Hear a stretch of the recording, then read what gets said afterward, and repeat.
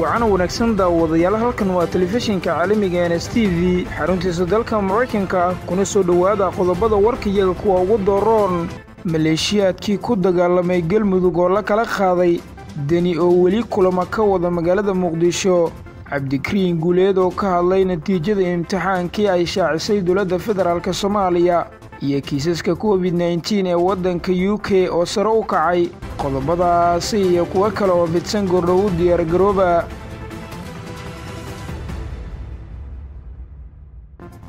mar kale isku soo noqod wacan maalinimadu waa isniin taariikhdu milaadiga ku beegan tahay toddobada bisha sebteembar sannadka labaatan labaatan kuna soo dhowaada qodobadii warka oo fidsan. Aynu ku bilaawnay maleeshiyaadkii ku dagaalamay galguduud oo la kala qaaday ciidamada xoogga gaar ahaan qaybta kow iyo labaatanaad ayaa ku guulaystay inay kala qaado maleeshiyaadkii ku dagaalamay deegaanka xanuun buure ee gobolka galguduud. Saraakiil ka tirsan militariga soomaaliya ayaa halkaasi gaaray kuwa oo goobjoog ka noqday tallaabada koowaad ee lagu kala qaadaya maleeshiyaad ka dagaalamay. Sidoo kale labada beelood ayaa ku ballansan inay isugu yimaadaan gogol rasmi ah iyada oo mas'uuliyadda ilaalinta ammaanka loo saaray taliska qaybta kow iyo labaatanaad oo halkaasi ka sii wada howlgallo inta xal waara lagaga gaarayo colaadaasi. Dagaal beeleedkii ka dhacay deegaanka xanuun buure ayaa waxaa la sheegay in dad badani ay ku dhinteen halka kuwo kalena ay ku dhaawacmeen iyadoo khasaaraha ugu badani uu soo kala gaaray dhinacyadii dagaalamay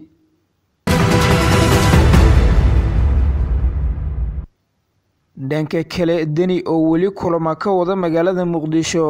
Madaxweynaha dowlad goboleedka puntland siciid cabdulaahi deni ayaa hooyiga uu ka degan yahay magaalada muqdisho ku qaabilay xildhibaano ka tirsan baarlamaanka dowladda federaalk soomaaliya. Xildhibaanada uu la kulmay madaxweynaha puntland ayaa waxaa ka mid a xildhibaan cabdirashiid maxamed xidig oo ka tirsan xildhibaanada golaha shacabka madaxweyne deni iyo xidig ayaa waxa ay ka wada hadleen xaaladda siyaasadeed ee dalka iyo arrimaha doorashooyinka. Dhinaca kale madaxweynaha puntland siciid cabdulaahi deni ayaa hooyiga uu ka degan yahay magaalada muqdisho waxa uu ku qaabilay guddoomiye ku-xigeenka labaad ee aqalka sare mawlid xuseen guhaad ra'iisul wasaare ku-xigeenkii hore xildhibaan cabdiwahaab ugaas xuseen wasiiru dowlaha boostada iyo isgaarsiinta xildhibaan cabdulaahi bile nuur iyo marti sharaf kale.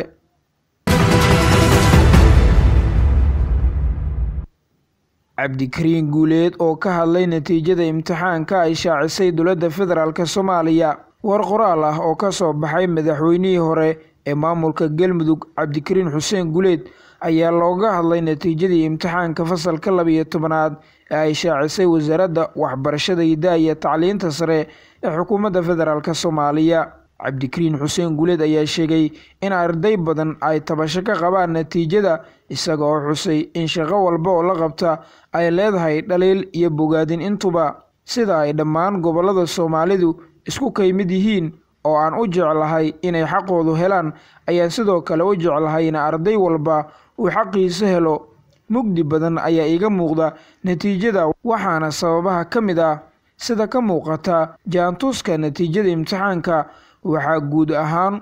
u fariistay soddon iyo laba kun toddoba boqol labaatan iyo toddoba arday waxaana hartay ama dhacday siddeed kun shan boqol iyo konton arday taasi oo ka dhigan shan iyo labaatan dhibic soddon iyo shan boqolkiiba celcelis ahaan. Tani waa arrin argagax leh muujinaysana fashal muuqdo oo ku yimid nidaamka waxbarashada ee dalka marka indha aqooneed lagu eego dhanka kale jaantuuska waxa uu ina tusayaa in ardayda gobolka banaadir ka dhacday ay yihiin toddoba kun siddeed boqol toddobaatan iyo saddex arday taasi oo ka dhigan in sagaashan boqolkiiba ardayda dhacday ay ahaayeen arday hal gobol imtixaanka u gashay waana arrin kale oo muujinaysa in shaki badan ay jiraan. Madaxweynihii hore ee maamul goboleed galmudug cabdikariin xuseen guleed ayaa ugu dambeyn ugu baaqay madaxda dowladda federaalk soomaaliya in aanan la fududaysan mustaqbalka dhallinyarada soomaaliyeed iyo walaaca waalidiinta haysta. Waxa uuna soo jeediyey in guddi heer qaran ah loo saaro arrintani oo xaqiijin ku sameynaya hufnaanta habkii loo qaaday imtixaanka iyo habkii loo saxay intuba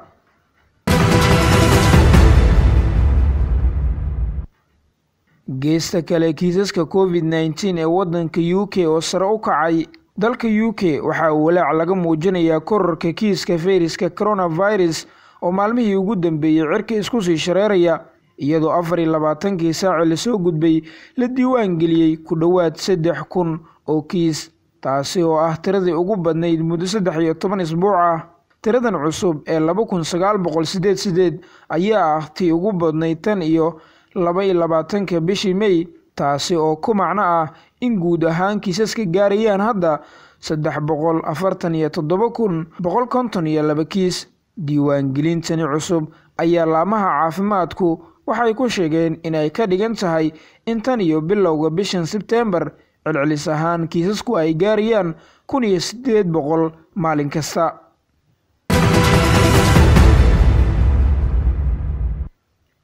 ugu dambeyntii dad loo xiray dibadbaxyo xoogani oo ka dhacay waddanka belaruus waxaa sii xoogeysanaya dibadbaxyada dalka belaruus ee loogaga soo horjeedo madaxweynaha dalkaasi alexander lukashenko. Kumanaan ruux ayaa isugu soo baxay waddooyinka caasimada dalkaasi ee minis booliiska ka hortaga rabshadaha oo sita tubooyinka biyaha laga tuuro ayaa xiray waddooyinka caasimadda iyaga oo sidoo kale xiray qaar ka mid a dadka dibadbaxyaasha dhigayey dibadbaxayaasha ayaa dalbanaya in madaxweyne lukashenko uu xilka ka dego waxa ay xukuumaddiisa ay ku eedeynayaan. Waxaa ka mid ah in doorashadii dalkaasi ka dhacday dhowaan uu ku shubtay madaxweyne lukashenko. Ugu yaraan afar qof ayaa ku dhimatay. Boqolaal kalena waa ay ku dhaawacmeen. Tan iyo intii ay dibadbaxyadani ballaaran ka soconayaan gudaha waddanka belaruus saaxiibada qiimaha iyo qaayaha inaga mudan guud ahaan waa inaga intaa warkii oo aad ka daawanayseen telefishinka caalamiga ns t v. Xaruntiisa dalka maraykanka war soo jeediyuhu waa nigo jamuni tan iyo warkaan midlaacin ah nooli kulante nabaday